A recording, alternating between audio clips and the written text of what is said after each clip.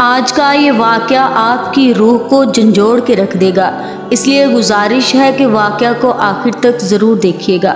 नासिर नामी शख्स का वाक़ आइए उसी की ज़ुबानी सुनते हैं। मेरी शादी को अभी तीन महीने हुए थे कि मुझे अपनी बीवी के मरने की दर्दनाक खबर मिली। मैं तो सोच भी नहीं सकता था कि मेरी इतनी मोहब्बत और प्यार करने वाली बीवी, जिससे अभी खुलकर मैं इजहार मोहब्बत भी ना कर सका था, वो इस दुनिया से इतनी जल्दी चली जाएगी। मैंने उसकी मोहब्बत को पूरा करने के लिए किसी किस्म की कमी नहीं छोड़ी थी। जैसा वो चाहती थी, मैंने वैसा ही किया, पर ज़िंदगी ने मेरे ऊपर इतना बड़ा सितम कर दिया कि मेरी बीवी भरी जवानी में मुझे छोड़कर चली गई। लेकिन बीवी के मरने के बाद ही असल कहानी शुरू हुई, जिसने मुझे ना सिर्फ़ झंझोड़ के रख दिया, बल्कि बहुत सारे रिश्तों की पहचान करवा दी। जैसे ही मेरी बीवी के मरने की खबर फैली तो बीवी के मायके वाले हमारे घर आ गए। उसकी माँ मुझे लान तान करने लगी, कहने लगी कि तूने हमारी बेटी को मारा है। वो शादी करते हुए तो बहुत खुश थी। उसने तो हमसे कहा था कि अब उस घर से मेरा जनाजा ही निकलेगा। तूने सच में उसका इस घर से जनाजा ही निकाल दिया? क्या तुझे जरा भी शर्म नहीं आई? तूने मेरी बेटी पर इतने जुल्म किए होंगे। इसलिए वो बेचारी बोली ही नहीं और घुट घुट कर मर गई। अब मैं उनको क्या समझाता कि मैं तो अपनी बीवी से अभी तक कोई ताल्लुक कायम ही नहीं कर सका था? तो मैं उस पर क्या जुल्म करता? अभी तो हम दोनों का रिश्ता भी बहुत ही ज़्यादा तकल्लफ वाला था। मैं चाहकर भी उसके करीब नहीं हो सका था। वो इस कदर शर्माती ललचाती थी कि मैं उससे बात करता तो वो मुँह दूसरी तरफ़ फेर लेती। खैर, इस सारे चूहे बिल्ली के खेल में तीन महीने गुजर गए। इसके अलावा एक और बड़ा वाक़ हो गया, जिसने मुझे ज़्यादा परेशान किया। बीवी के मायके वाले कह रहे थे कि हम मैयत को अपने घर ले जाएँगे। और अपने आबाई कब्रिस्तान में दफन करेंगे। जबकि मेरे घर वाले बोले, अब वो हमारी ज़िम्मेदारी थी, इसलिए इसे दफनाया भी यहीं पर जाएगा। लेकिन बीवी के मायके वालों में से एक आदमी बहुत ज़्यादा जिद कर रहा था कि किसी सूरत में भी हम अपनी बेटी को यहाँ दफन नहीं होने देंगे। तुमने इस पर जितने जी भर के जुल्म कर लिए, वो काफ़ी हैं। अब हम इसे मरकर यहाँ नहीं छोड़ सकते। खैर कुछ ना कुछ करके उन लोगों ने मैयत को यहाँ से निकाल लिया और ये लोग उसे अपने घर ले गए। मैं बहुत ज़्यादा परेशान था, लेकिन मेरी उसके साथ निस्बत ख़त्म तो नहीं होने वाली थी। मैं भी उसके साथ ही चला गया। मैं अपनी बीवी को दफन करते वक़्त बहुत परेशान था। मैंने जब उसे लहद में उतारा तो मेरा जिस्म काँप रहा था। मुझे अपनी मौत याद आ रही थी। दिल चाहा बीवी के साथ मैं भी इस दुनिया से चला जाऊँ। लेकिन मैं ऐसा नहीं कर सकता था। तभी मुझे पीछे से किसी ने धक्का दिया। मैंने पीछे मुड़कर देखा तो वही आदमी खड़ा था, जिसने मेरी बीवी का जनाजा यहाँ लाने पर बहुत ज़्यादा जिद की थी। वो मुझे कहने लगा, अरे भाई, अब क्या तुम भी इस कब्र में लेट जाओगे? निकलो यहाँ से। मुझे इसका अंदाज बहुत ही अजीब और नफरत वाला लग रहा था। मैं कब्र से ज़रा पीछे हट गया। जल्दी जल्दी कब्र पर मट्टी डाल दी गई। और फिर तदफीन मुकम्मल कर दी गई। वही आदमी सबको कहने लगा कि अब यहाँ गैर इस्लामी तरीके से तमाशा ना लगाया जाए। सब लोग अपने अपने घरों को चले जाएँ। और तुम मियाँ अब क्या अपनी बीवी का मातम करते करते इस दुनिया से उठ जाओगे? जाओ, अपने घर जाओ, अपने घर वालों को, अपनी माँ को वक़्त दो। मैं उसकी कड़वी, सीली बातें सुनकर बहुत परेशान था। लेकिन क्या करता? ये मौका ही ऐसा था कि मैं ज़्यादा बोल भी नहीं सकता था। मैं चुपचाप अपने घर आ गया। घर आकर मेरा दिल बुरी तरह से रो रहा था। अभी मैं किसी दोस्त को फ़ोन करने लगा। मैंने जेब में हाथ डाला तो देखा मेरा तो मोबाइल जेब में नहीं था। ये देखकर मेरे कदमों तले से ज़मीन निकल गई। मैं बहुत परेशान हुआ। सोचा कि शायद मोबाइल मैं कहीं रास्ते में फेंक आया हूँ। फिर मुझे याद आया कि कब्रिस्तान से आते हुए मेरी जेब ज़रा हल्की थी। मैं इस वक्त इतना फ़र्क महसूस नहीं कर सकता था। लेकिन बात दरअसल ये थी कि मैं अपना मोबाइल कब्रिस्तान में ही कहीं भूल आया था। मैं फ़ौरन घर से निकला। मोबाइल के बगैर ज़िंदगी गुजारना मुश्किल लग रही थी। ये सब तो आप भी जानते ही होंगे। मैं फ़ौरन इसी कब्रिस्तान में पहुँचा, जहाँ पर मेरी बीवी की तदफीन हुई थी। वहाँ पहुँचते ही मेरी नज़र पूरे कब्रिस्तान पर पड़ी, लेकिन मेरा मोबाइल कहीं नज़र नहीं आया। मैं इधर उधर देखने लगा। तभी एक बूढ़ा आदमी मेरी तरफ़ आया और बोला, क्या ढूंढ रहे हो? शायद वो बूढ़ा आदमी इस कब्रिस्तान का गोरकन था। मैं बोला, बस चाचा, मैं अपना मोबाइल यहाँ भूल गया हूँ। वो ढूंढ रहा हूँ। कहीं तुम अपना मोबाइल कब्र में तो नहीं गिरा आए? चाचा ने बड़ी हैरानी से पूछा था। हाँ ये भी हो सकता है। असल में जब मैं कब्र में देख रहा था तो मुझे किसी ने कब्र से हटाने के लिए कमीज से पकड़कर खींचा था। लगता है कि मेरा मोबाइल नीचे ही गिर गया है। ये बात सुनकर मैं लरस गया। तो क्या मेरा मोबाइल इस कब्र में गिर गया है? लगता है कि अब मुझे कब्र खोदनी पड़ेगी। तौबा करो मियाँ, कैसी बातें करते हो? वो आदमी अपने कानों को हाथ लगाने लगा। एक चंद हज़ार के मोबाइल के लिए तुम अल्लाह का इतना बड़ा कानून तोड़ोगे? कब्र अल्लाह की हद होती है। तुम्हारी बीवी के सारे मायके वाले घर वाले उठकर आ जाएँगे। वो तुम्हें ज़िंदा नहीं छोड़ेंगे। तुम ऐसी बात हरगिज मत करना। वो यही सोचेंगे कि तुमने ही इनकी बेटी को मारा है। मैं ये बात सुनकर हैरान हो गया कि इस आदमी को मेरे घरेलू मसाइल के बारे में कैसे पता था? ये एक गोरकन था। फिर उसको ये भी पता था कि ये मेरी बीवी है और उसके घर वाले मुझसे नाराज़ हैं। और ये तो मेरी बीवी के मायके का कब्रिस्तान है। शहर में अमूमन ऐसी तफसीलात नहीं बताई जाती। ना ही कोई दूसरे के ख़ानदान के बारे में जानता है। पर यह गोरकन अजीब था, जिसे हर तरह की मालूमात थी। मैं बड़ा हैरान हुआ, लेकिन चुप था। इस वक्त गम ही इतना था कि मैं फ़ौरन अपने घर लौट आया। घर आकर मैंने ये बात अपनी अम्मा को बताई। अम्मा कहने लगी, अरे बेटा, इसमें परेशान होने वाली क्या बात है? तुम ऐसा करो कि दूसरा मोबाइल ले लो। खवाम खा परेशान होते हो। अब अगर बीवी की वफात के बाद तुम्हारे पास मोबाइल भी नहीं होगा तो तुम्हारा दिल और भी ज़्यादा परेशान होगा। अपना ध्यान बटाने की कोशिश करो। मैं तुम्हें पैसे देती हूँ। तुम जाकर अपने लिए नया फ़ोन खरीद लो।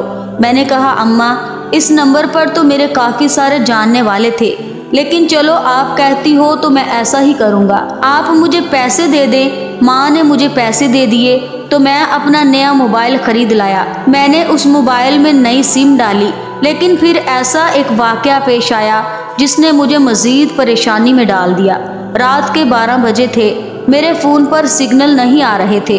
अचानक से सिग्नल आए तो मैंने पहला नंबर जो मिलाया, वो अपना पुराना नंबर था। शायद मैं सिग्नल चेक करने के लिए ऐसा कर रहा था। मेरे तो वहमो गमान में भी नहीं था। मेरा ख्याल था कि बस मेरा मोबाइल कब्र में गिर गया है तो अब वो ख़त्म हो गया होगा। लेकिन जैसे ही मैंने फ़ोन में नंबर मिलाया तो उस पर बैल जाने लगी। ये सुनकर मेरे रोंगटे खड़े हो गए। मुझे अजीब सा डर लगने लगा। मेरा मोबाइल कब्र में है और वहाँ उस पर बैल जा रही है। लेकिन अगले लम्हे जो हुआ, उसने तो मुझे हैरान करके रख दिया। मेरा फ़ोन उठा लिया गया था और फिर जो हुआ, उसको देखकर मैं इस कदर हैरानो, परेशान और तजस्स में मुबतला हुआ कि फ़ौरन अपनी जगह से उठ खड़ा हुआ। माँ भी हैरान थी कि ये मैं क्या कर रहा हूँ। माँ ने पूछा, बेटा, कहाँ जा रहे हो? मैंने जवाब दिया, अम्मा, मैं अपनी बीवी की कब्र पर जा रहा हूँ। क्या हो गया है तुम्हें? पहले मोबाइल का बहाना बनाकर गए थे। अब कौन सी आफत आ गई है? रात के इस वक्त तुम अपनी बीवी की कब्र पर जा रहे हो। अम्मा, मुझे जाना होगा। ये कहकर मैं तो घर से निकल गया। मैं नहीं जानता था कि मेरी माँ मेरे पीछे कितना परेशान हुई होगी। अभी मेरे दिल में सिर्फ़ और सिर्फ़ एक ही ख्याल चल रहा था, और वो था मेरी बीवी का ख्याल। क्योंकि जो कुछ मैंने सुना था, उसके बाद मैं खामोश तो नहीं बैठ सकता था। मेरी पूरी ज़िम्मेदारी बनती थी कि मैं इस मामले की जाकर तहकीक करूँ। इसलिए मैं अपनी बीवी के अबाई कब्रिस्तान पहुँच गया था।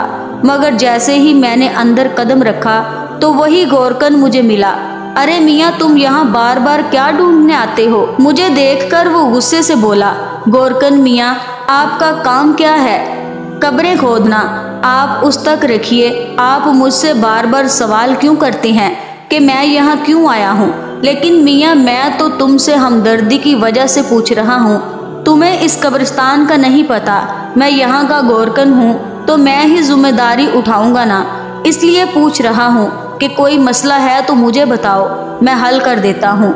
मैंने गोरकन को भी सारी बात बता दी। ये सुनते ही उसके चेहरे पर एक रंग आया और एक गुजर गया। अच्छा मैं इस मामले के बारे में कुछ नहीं जानता, लेकिन एक बात ज़रूर कहूँगा। कि इसका ताल्लुक तुम्हारी बीवी से है, तुम्हारी बीवी की कब्र से नहीं। और तुम अपनी बीवी के घर वालों से जाकर इस बात का पता मालूम करो। तुम्हें खुद ही समझ में आ जाएगा। मैं कुछ बोलूँगा तो वो ख्यानत हो जाएगी। इसलिए मैं खुद को गुनागार नहीं करना चाहता। तुम खुद जाकर मालूम करो, अक्लमंद के लिए इशारा ही काफ़ी होता है। मैं गोरकन की बात सुनकर समझ गया कि वो मुझे कोई बात नहीं बताना चाहता। शायद कि उसने मेरी बीवी के घर वालों से कोई रकम वसूल की होगी या कोई और वजह होगी, जिसकी वजह से वो पूरी बात मुझे नहीं बता पा रहा था। मैं अपनी बीवी के कब्रिस्तान से होकर उसके घर पहुँच गया, लेकिन मैंने घर के दरवाजे पर दस्तक नहीं दी, बल्कि यूँ ही घर में दाखिल हो गया। मैंने देखा, वो सब लोग एक कमरे में बैठे बातें कर रहे थे। घर का बाहर वाला हिस्सा बिल्कुल खाली था, वहाँ कोई भी नहीं था। इसलिए मैं चलता हुआ उस कमरे के करीब पहुँच गया, जहाँ बैठकर वो लोग बातें कर रहे थे। मैंने देखा उन सब के चेहरों पर बेपनाह गुस्सा था। लगता था जैसे कि वो अभी उठकर मुझे मारना शुरू कर देंगे। वो बात कर रहे थे मेरी बीवी के बारे में। वो मेरी बीवी पर गुस्सा क्यों कर रहे थे? तभी मेरा हाथ एक प्याली पर लगा। वो प्याली गिरकर टूट गई तो सब लोगों की तवज्जो मेरी तरफ़ आ गई। वो लोग मुझे यूँ देखने लगे जैसे मैंने उस घर में चोरी कर ली हो। बेटा, तुम यहाँ कैसे आए हो और कब आए थे? मेरी सास ने मुझसे पूछा। अम्मा जी, मैं आपको एक बात बताने के लिए आया हूँ। मैंने अपनी सास की तरफ़ उम्मीद भरी नज़र डाली। हाँ बेटा, आओ। हमें तुम्हारा इंतज़ार था। मेरा इंतज़ार? मगर वो क्यों? मैंने अपनी सास से पूछा। बस बेटा, हालात ही कुछ ऐसे हैं। कि क्या करें? तुम्हें तो पता है कि हम एक मामूली से ख़ानदान से ताल्लुक़ रखते हैं। मेरा भांजा कल से घर नहीं आया। वो ऐसा गायब हुआ है कि मेरी बहन भी परेशान हो गई है। कहती है कि अपने दमाद से कहकर मेरे भांजे को ढूंढ कर लाओ, वरना मैं मर जाऊँगी। मेरा एक ही जवान बेटा था। अगर वो भी ना रहा तो मैं क्या करूँगी? तुम जानते हो ना कि कई अरसे से हमारी उनके साथ नाराज़गी चल रही थी। लेकिन अब इस मौके पर हम दोनों खानदान एक दूसरे के बेहद करीब हो गए हैं। मैं ये सुनकर अपना गम भूल गया। अच्छा माँ जी, मैं आपका काम करवा दूँगा। लेकिन आपको अपना मसला बताने आया हूँ। बेटे, मसले तो चलते रहते हैं। मेरी सास ने मेरी बात को काटते हुए कहा। लेकिन तुम पहले मेरा काम कर दो। इसके बाद तुम जो कहोगे मैं वही करूँगी। मैंने अपनी सास से बहस करना मुनासिब नहीं समझा। वहाँ से एक और ज़िम्मेदारी लेकर वापस अपने घर आ गया था। मैं अपनी बीवी की कब्र खोलना चाहता था क्योंकि जो कुछ मैंने सुना था और जानता था इसके बाद मेरा दिल बहुत अजीब सा हो गया था। मैं चाहता था कि मैं अपनी बीवी की कब्र खोलूं, कब्र कुशाई करूँ, लेकिन कोई भी मुझे इस बात की इजाज़त नहीं दे रहा था ना कोई मेरी बात पर यकीन कर रहा था। इसलिए मैंने सोच लिया था कि जो कुछ करूँगा मैं खुद ही करूँगा। रात के दो बजे मैंने कब्रिस्तान में जाने का फ़ैसला कर लिया। अब मुझे अपनी बीवी की कब्र खोलना बहुत ज़रूरी लग रहा था। दो बजे घर के सब लोग सो चुके थे। मैं जानता था कि वो गोरकन जो बार बार मुझे मना कर रहा था, वो भी इस वक्त नहीं जाग रहा होगा। उसको तो लगता होगा कि अब मैं चुपचाप बैठ जाऊँगा, पर मैं चुप बैठने वालों में से नहीं था। इतनी बड़ी बात हो गई थी, मैं कैसे खामोश रहता। मैंने जाकर सारा इंतज़ाम मुकम्मल किया और तकरीबन ढाई बजे कब्र खोलना शुरू कर दी। मुझे इस बात की हैरत नहीं हुई थी कि कब्र की मिट्टी काफ़ी नरम थी। ऐसे लगता था जैसे कब्र को कुछ देर पहले ही बंद किया गया हो। मैंने जल्दी जल्दी मिट्टी हटाई तो पत्थर की स्लेट को हटाने में मुझे पाँच मिनट से ज़्यादा वक्त नहीं लगा। मैं इस वक्त इतने जोश में और वलवले में था कि मैं बड़े से बड़ा पहाड़ भी उखाड़ सकता था। जब मैंने पत्थर की स्लेट हटाई तो मुझे एक और हैरत का झटका लगा। सामने का मंजर देखकर मेरे पसीने छूट गए थे। ठंडे पसीने मेरे चेहरे पर आ रहे थे और मैं इस कदर परेशान था कि समझ नहीं आती थी कि मैं क्या करूँ। क्योंकि सामने कब्र खाली थी। कब्र में ना मेरी बीवी थी ना उसका कफन था। मैं तो अपना फ़ोन ढूँढने आया था, पर एक नया किस्सा खुल गया था। दरअसल जब मैंने अपना फ़ोन कान से लगाया था तो किसी ने मेरी कॉल उठाई थी। इस बात से मुझे लगा जैसे मेरा फ़ोन कब्र में नहीं है, बल्कि मेरा फ़ोन कोई चोरी करके ले गया है। लेकिन जब मैंने अगली बात सुनी थी तो वहाँ से मेरा तजस्स कायम हो गया। कुछ देर हवाओं की जकड़ की ऐसी आवाज़ आती रही और फिर मेरे कानों में एक आवाज़ पड़ी कि मेरी बीवी सख्त अजाब में है और जब तक इसके नाम का कर्ज अदा नहीं कर दिया जाता, तब तक वो यूँ ही तड़पती ही रहेगी। शायद मैं ये बात सुनकर बेवकूफ़ बन ही जाता, लेकिन मैं सोचने लगा कि कब्र में आने वाले फरिश्ते तो कभी भी उर्दू ज़बान में बात नहीं कर सकते। वो तो सुना है कि अरबी में बात करते हैं, और फिर ऐसा कैसे हो सकता है? कि एक फरिश्ते की आवाज़ मुझे फ़ोन पर सुनाई दे। ये चीज़ कोई ड्रामा या फिर झूठ लगती थी। ऐसा हकीकत में हो ही नहीं सकता था। बहुत सारे लोगों ने कब्र में कैमरा और माइक रखने की कोशिश की, पर आज तक किसी फरिश्ते की आवाज़ किसी इंसान के कानों में नहीं पड़ सकी। ये अल्लाह का राज है और ये अल्लाह ही जानता है। ऐसा हो ही नहीं सकता कि किसी फरिश्ते की आवाज़ कोई इंसान सुन सके। बस तभी से मुझे शक पड़ गया था और मैंने बीवी की कब्र खोदने की ठान ली थी। फिर जब मैंने कब्र खोदी, वहाँ पर मुझे कुछ भी नहीं मिला। अब मैं अपनी बीवी के घर वालों के पास चला गया।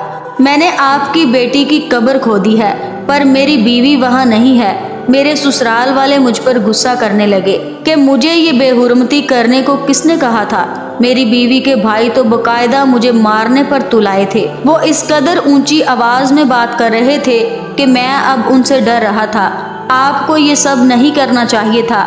मैं तो कभी भी अपनी बीवी के लिए बुरा सोच ही नहीं सकता था। और ये बात उन लोगों को कौन समझाए? उनको तो मैं न जाने कसाई, जालम और जलाद लग रहा था। मैंने अपनी बीवी के घर वालों से ज़्यादा बहस करना मुनासिब नहीं समझा। क्योंकि वो तो लड़ने झगड़ने पर, मर मिटने पर तैयार हो गए थे। और ऐसे लोगों से मैं कितनी भी बात करता, वो मेरी बात ना सुनते। वहाँ से निकला तो सबसे पहले मुझे अपनी सास के भांजे का ख्याल आया, जिसके बारे में उन्होंने मुझे ढूँढने का कहा था। बाकी सब काम छोड़कर, अब मैं भी उसे ही ढूंढना चाहता था, क्योंकि मुझे अपनी बीवी के उस कज़न पर बहुत ज़्यादा शक था। वो भी घर से उस दिन से गायब हुआ था, जिस दिन से मेरी बीवी फौत हुई थी। शहर में पूछता पछाता वहाँ के अकलौते बस अड्डे पर पहुँचा। वहाँ जाकर मैंने अपनी सास के भांजे के बारे में बताया। मुझे वहाँ कहीं एक लोकल आदमी ने ये मालूम दी कि वो सुबह सुबह ही डस्के के लिए निकला है। ये बात मेरे लिए ज़्यादा हैरान कन नहीं थी।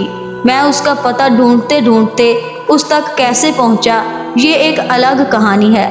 पर वो एक छोटी सी तंग गली में किराए के मकान पर रहता था और आज उसे ढूंढते हुए मुझे एक हफ़्ता हो चुका था। हफ़्ते के बाद जब मैं उस तंग गली में उसके घर के दरवाजे पर दस्तक देने लगा तो मेरे दिल में तमाम सवालों के जवाब पहले से मौजूद थे। और कुछ सवाल मेरे जहन में उठ भी रहे थे। जैसे ही दरवाज़ा खुला, मैंने देखा कि सामने कोई और नहीं, बल्कि मेरी अपनी बीवी खड़ी थी। मैं तो किसी और को ढूँढने यहाँ आया था। मुझे देखते ही उसके चेहरे पर एक रंग आए और एक रंग जाए। वो बड़ी मुश्किल से अपनी जान बचाकर पीछे भागने लगी। मैंने उसे बाजू से पकड़ा और घसीटना शुरू कर दिया। वो चिल्लाने लगी और शायद मुझे गली वालों के सामने एक गुंडा ज़ाहिर करना चाहती थी। मैंने सबको चुप करवा दिया कि ये मेरी बीवी है और मैं इसे ऐसे यहाँ छोड़ नहीं सकता। सब लोग बहुत हैरान थे। मेरी बीवी के चेहरे पर भी बहुत पेशेमानी थी। मैंने उसे लाकर गाड़ी में फेंका और उससे पूछा कि तुम यहाँ पर क्यों हो? तुम तो मर गई थी। वो रोने लगी, खुदा के लिए मुझे माफ़ कर दे। खुदा का नाम मत लो। तुमने तो उसको नाराज़ करके ये रास्ता इख्तियार किया है। अब बताओ कि तुम्हें क्या सजा दूँ? मेरी बीवी मुझसे हाथ जोड़कर माफ़ी मांगने लगी कि पहले एक बार आप मेरी बात सुन लें, फिर आपको सब कुछ सच सच बताऊँगी। अगर तब भी आपको यकीन ना आए तो आप जो कहेंगे मैं वही करूँगी। मेरी बीवी ने जब अपनी कहानी सुनाना शुरू की तो मैं भी चुप हो गया। अब मैं उसे क्या कहता, क्या सजा देता? उसने बताया कि वो जब से बड़ी हुई है, उसके घर में उसके खानदान वालों का आना जाना लगा रहता था। उसका एक कज़न था, जो कि उसकी खाला का बेटा था। अक्सर उनके घर आता जाता रहता था। तो एक दिन मेरे कज़न ने मुझसे कहा, वो उसे मॉडलिंग करवाने के लिए दूसरे शहर ले जाएगा। वो खूब पैसा कमाएगी, मशहूर हो जाएगी और घर की गुर्बत ख़त्म कर देगी। वो भी इसकी बातों में आ गई। फिर उसके साथ चल पड़ी। उसने मुझे शहर ले जाकर अपनी हवस का निशाना बनाया और साथ ही उसकी तस्वीर भी बनाई। जब मेरी इतनी सारी तस्वीरें बन गईं तो मैं मजबूर हो गई और उसकी बात मानने लगी थी। ये बात उसकी माँ को पता चली। माँ ने उसकी शादी मुझसे कर दी, पर उस भांजे ने तो उसका पीछा नहीं छोड़ा था। उसने सख्ती से मना कर रखा था कि अपने शोहर के पास नहीं जाना। अभी मेरी बीवी दो हिस्सों में बढ़ चुकी थी। वो उस शख्स की बातें भी मानती और मेरे घर में खुशी खुशी रहती भी थी। वो अपना गम किसी पर ज़ाहिर नहीं होने देती थी। फिर एक दिन उसके खालाजाद ने एक अनोखी फरमाइश कर दी कि तुम मरने का नाटक करो, फिर मैं तुम्हें यहाँ से ले जाऊँगा। इस बेवकूफ़ को ये भी नहीं पता चला कि एक शख्स के निकाह होते हुए दूसरा निकाह नहीं हो सकता। मेरी बीवी ने उसके कहने के मुताबिक नाटक किया। खुदा जाने उसने इतनी कामयाबी के साथ ये सब कुछ कैसे कर लिया।